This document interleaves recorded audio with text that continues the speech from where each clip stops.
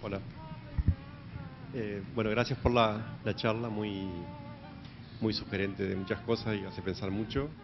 Eh, yo quería comentar, bueno, eh, cosas que pasaron estos días con, el mobile, ¿no? con el congreso este. bueno, se habló mucho de las posibilidades de los móviles y me extrañó, me, sorprendió, me, gustó una experiencia que hizo BTV, que es hacer el informativo o hacer durante toda la semana los informativos hechos con móviles. Bueno, en lugar de usar todo el aparataje entonces ellos explicaban que en, lugar de contratar un satélite para hacer cada salida que hacen, ¿no? a cubrir un accidente, a cubrir lo que sea, hace años que trabajan con, el 4G. Y, esta vez era el desafío de decir, bueno, podemos eh, realmente crear un, programa que no tenga cámaras, que tenga el móvil como, expresión, o sea, estamos hablando de una televisión eh, eh, comercial, bueno, se puede decir, ¿no? Y no solamente hacían la grabación en, eh, de, digamos, del informativista explicando, sino que también tenían eh, periodistas dando vuelta que con el móvil iban grabando y editaban en el propio móvil y enviaban la...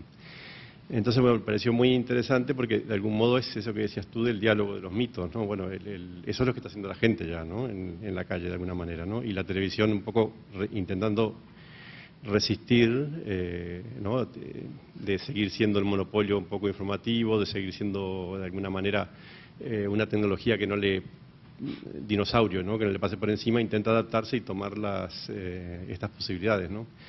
Y era un poco ver cómo veías tú todo este fenómeno de, donde, bueno, que ya lo has explicado aquí, pero donde se ha creado un poco una transferencia de poder, por así decirlo, ¿no? que la gente no solamente a través de YouTube sino a través de otros medios, es la que informa ya, ¿no? Y ha roto también estos monopolios, ¿no? Gracias.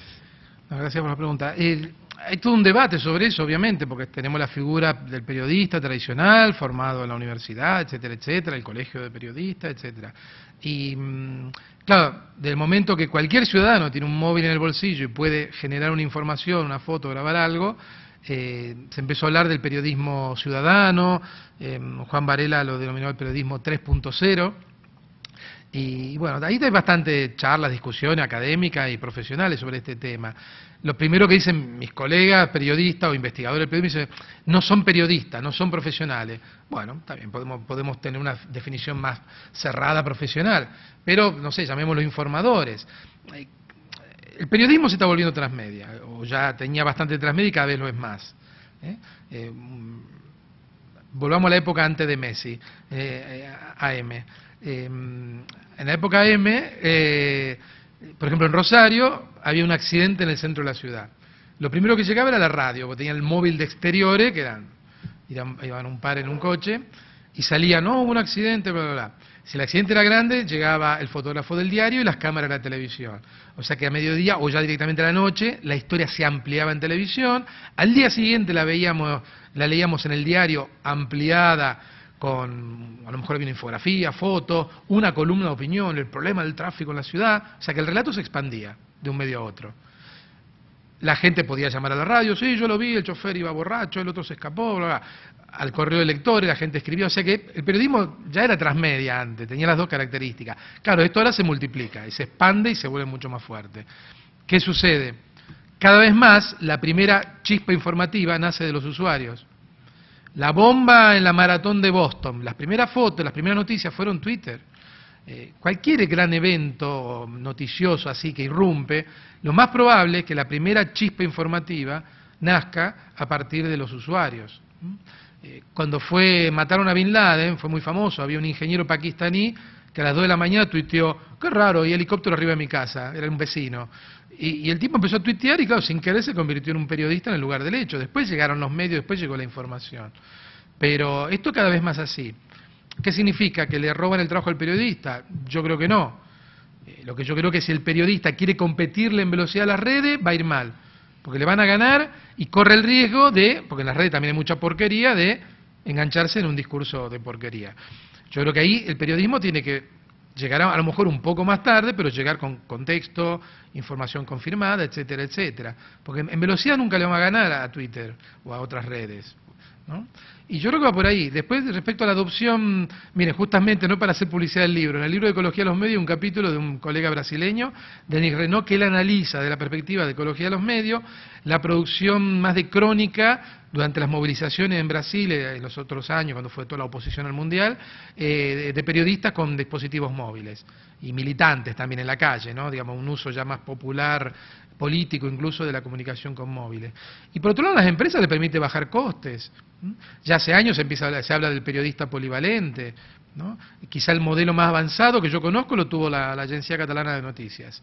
El periodista polivalente de la ANC, que tenía, tenía un periodista en Vic o en Malleu, eh, el MARC, que cubría eventos en la comarca de Osona. Eh, no sé, eh, en esa época, no sé, venía Artur Mas a inaugurar una sala del hospital de Vic. Bueno, iba el Marc a cubrir.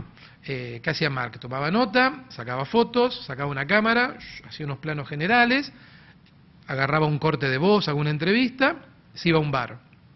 Ahí escribía el texto de la noticia, seleccionaba un par de fotos, las encuadraba rápido, el vídeo lo mandaba en bruto al servidor central de la agencia y bueno, y eso era, era un periodista cubriendo para todos los medios. Y además tenía una polivalencia temática, que es un caso muy extremo este. A lo mejor se iba de la inauguración del hospital a cubrir un partido de patí, al, al Club y después se iba a, al, mercado medieval y cubría todo. O sea, había polivalencia temática y polivalencia tecnológica mediática, digamos.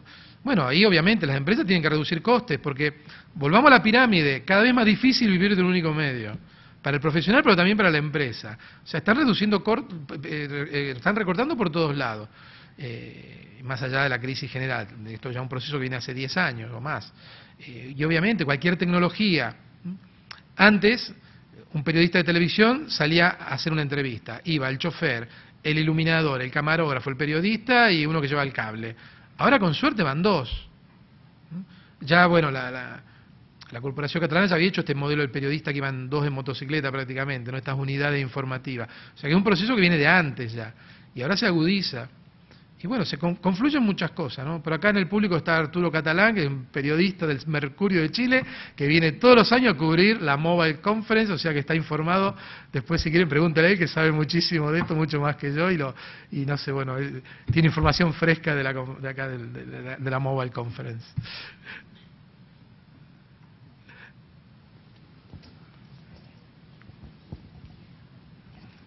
Hola, pues yo Buenas tardes. Eh, estoy de acuerdo en esto, Carlos, pero yo creo que aquí como usuarios estamos perdiendo. O sea, esa especialización de los... Y no soy periodista, ¿eh?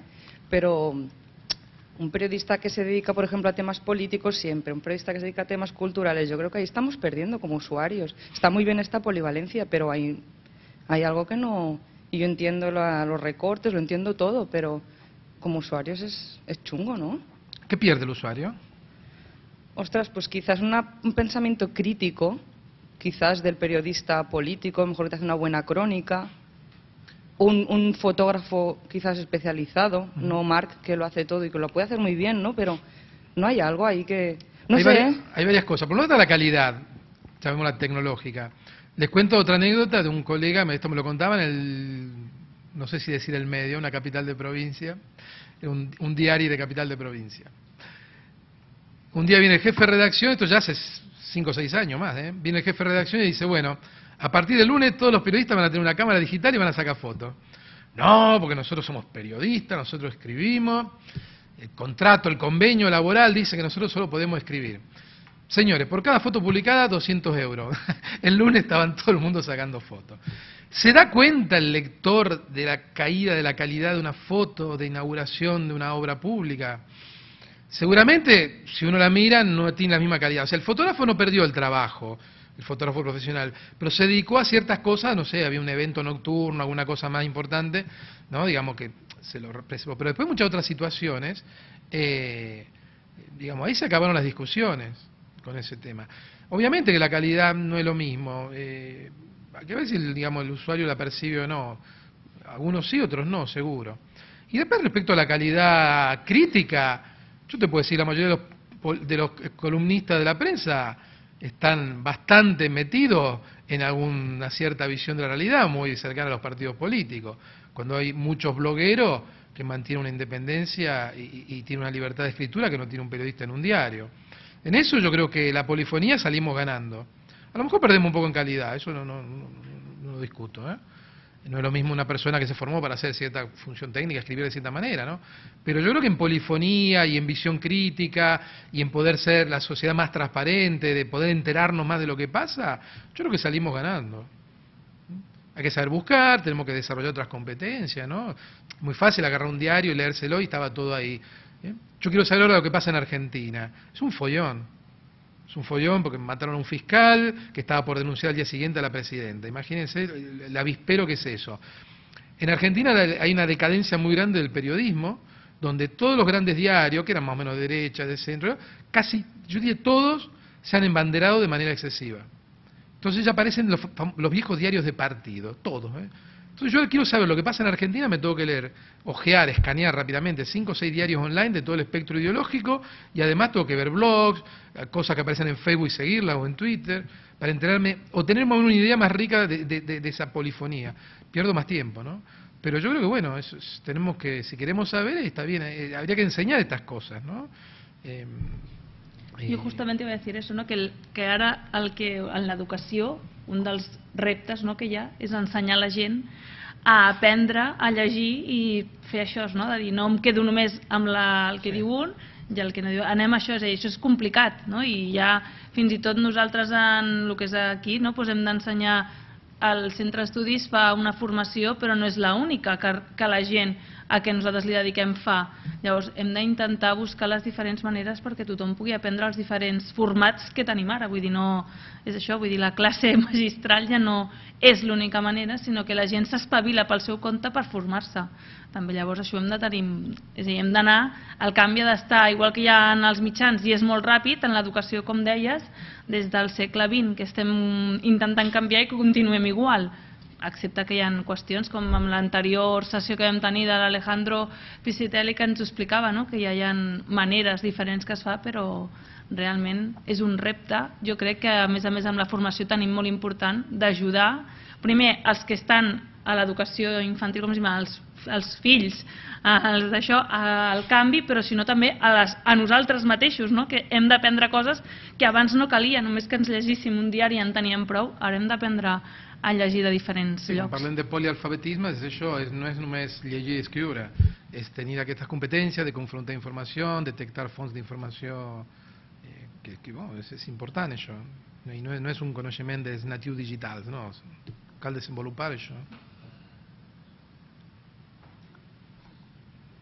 Eh, Carlos, Mira, eh, totalmente de acuerdo. Lo que pasa es que las escuelas, eh, justamente hace unos días estaba haciendo unas visitas a nivel particular como padre y bueno, no porque yo sea licenciado en comunicación entre otras cosas, sino por el hecho de que todas se basan en datos.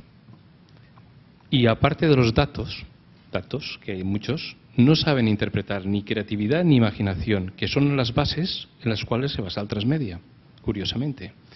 Y no tenemos ninguna asignatura, desde P3 hasta todo el bachiller, que tenga alguna optativa en comunicación, en creatividad o en imaginación. Y el otro momento que estáis hablando de, los periodistas, perdonar, pero lo tenéis el futuro negro. El otro día estaba en un congreso de comunicación, sí, sí, así de claro. Hay robots que están haciendo ya los sketches, digamos, las noticias deportivas del mundo, robots. O sea que es cuestión de tiempo. Y están saliendo abogados. O sea que la lista va a ser larga. Por tanto, el gran concepto que es la, imaginación y la creatividad que nosotros, los de la Latinoamérica y la península ibérica, podemos exportar, porque somos grandes exportadores, no somos exportadores de matemáticos, somos exportadores de otras cosas. Me, siempre me pregunto cómo es que los productos transmedia no se incluyen de verdad en las escuelas, desde la misma administración, ¿eh? yo en la Generalitat de Cataluña, igual que la mayoría que estamos aquí, ¿cómo es que realmente no ponemos dinero en eso? ¿Cómo es que no hay manera de hacer unos CDs interactivos reales de matemáticas? No solo de inglés, de lengua catalana, de lengua castellana. Es una pregunta que siempre me queda pendiente en muchos congresos que asisto y veo que sigo mirando y perdonaré, entre comillas, me aburro esperando que alguien salte con la idea brillante. Si hablamos de la industria, ahora van a bajar el IVA del 21%. A ver, eh, yo tengo hijos adolescentes. Mi hija la semana pasada eh, estaba estudiando memoria las capitales de África. Mi hija que no mira televisión, tiene 14 años, mira youtubers, el, gap, como dijo una vez Castells, ¿no? Castells, la diferencia, la, distancia que hay entre el mundo de la escuela, que le hacen estudiar de memoria las capitales de África, que le entran por acá y mañana después del examen o chante el examen le salen por acá. ¿Qué es eso? Eh, yo el año pasado estuve en un congreso de Estados Unidos. Volví, un vuelo medio económico, vía Londres. Bajo en el aeropuerto de Londres para cambiar de avión y me compro la revista Wire, que es la Biblia de la cibercultura, lo último de lo último de Silicon Valley, me la compro. La nota de portada eran estas gafas de 3D Oculus Rift que el Zuckerberg había pagado 500 millones de dólares por esa empresa, que eran dos chicos que estaban haciendo un prototipo. Pagó y era la nota de la portada, era el Oculus Rift, estas gafas para 3D. Yo llego a mi casa, estaban mis hijos adolescentes, y yo llego todo chulo, del mundo desarrollado, venía de Seattle, vía Londres, y le digo a mi hija, Lara, ¿sabes que Facebook acaba de comprar unas gafas 3D que no generan mareo? Y me mira y me dice, ah, el Oculus Rift. El Rubius hace seis meses habló de eso y en la escuela le hacen aprender las capitales de África de memoria. Y, mi otro hijo una vez, pues, estamos charlando ahí, y bueno, me empezó a contar el día D. Y me dice, no, el día D, el 6 de junio del año 44, llegaron los aliados la costa de Normandía, pa, pa, pa, y avanzaron, se pensaron que iban a llegar antes del verano a Berlín, pero los alemanes se hicieron fuertes del otro lado del Rin, pusieron los tanques, ta, ta, ta, ta, y los rusos aprovecharon, avanzaron por Polonia y llegaron a Berlín en abril del 45, antes que los aliados. Y Luca, ¿quién es Napoleón? Tiene idea. Digo, ¿no hay videojuego de Napoleón? No, deberían hacerlo. O sea, vemos esta distancia, ¿no? Y bueno, y lo sufrimos. Las instituciones educativas son muy conservadoras, quizás porque están acostumbradas a reproducir conocimiento, que deberían también un poco más de crearlo, pero históricamente son lugares de reproducción de conocimiento. Y reproducen las prácticas. Eh, y pasa en la universidad, o en todos los niveles. Son instituciones que tienen una cosa muy de... Eh, que yo digo, la universidad, después del Vaticano, la institución más vieja de Occidente, tiene mil años. Eh, ahora Bolonia, Oxford, este, este, a finales de este siglo cumplen mil años. Salamanca también. O sea que algo se debe adaptar la universidad, debe saber adaptarse. Para aguantar mil años algo tiene que tener. Pero en este momento, toda la, la estructura educativa está muy... No, no han sabido llevar este ritmo tan rápido de cambio, ¿no? como que han quedado en el modelo industrial, el modelo del timbre, de la hora, de formar fila, bla, bla, bla, muy ordenadito, ¿no? Y bueno, eh, lo que pasa es que, bueno, yo creo que los chicos los metemos ahí unas horas, salen y vuelven a su mundo real. Yo siempre tengo esta imagen de las escuelas, cuando mis chicos estaban en la primaria, sobre todo las madres, cuando salían de la escuela a las 5, le daban el móvil al hijo o a la hija. Era el pasaporte, ah, volviste a tu mundo real, acá tenés el móvil. O sea, te sacamos esa película en blanco y negro, muda, en cámara lenta, que, pasa ahí dentro, ¿no? Y bueno, pero bueno, eh, o la escuela se adapta o, digamos, la realidad va a seguir adelante y, los chicos hacen sus cosas y aprenden. El proyecto este que, que tuvimos la suerte que nos aprobaran abarca nueve países, son casi veintipico investigadores y queremos hablar lo que hemos llamado el alfabetismo transmedia o transmedia literacy en inglés. El alfabetismo mediático, la media literacy tradicional, que era enseñar a los chicos a hacer un consumo crítico de los medios, que está bien, sobre todo la televisión, y era eh, que empezaran a hacer cosas con los medios. Nosotros les dimos una vuelta de tuerca para hacer un proyecto, digamos, complementario de ese tipo de enfoque.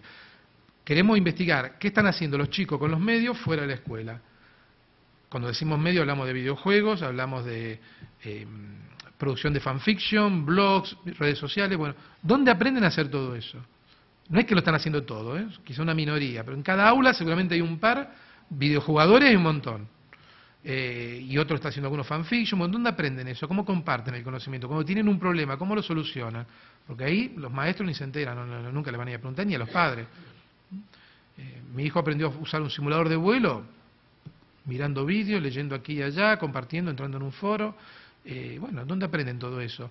Y el proyecto culmina, queremos hacer un kit para el profesor, para, una vez detectadas estas competencias, si el profesor ve que dentro de su aula hay algunos chicos que tienen estas cosas, o que están, digamos, son usuarios avanzados, llamémoslo así, poder aprovecharlos dentro del aula. Explotar estas competencias adquiridas fuera de la escuela, aprovecharlas adentro. Es un proyecto de tres años que empieza dentro de dos semanas oficialmente, ya estamos trabajando hace seis meses, pero oficialmente empieza el primero de abril. ¿Preguntas? ¿Alguna pregunta más? Ja està, doncs moltes gràcies no, per la participació i fins a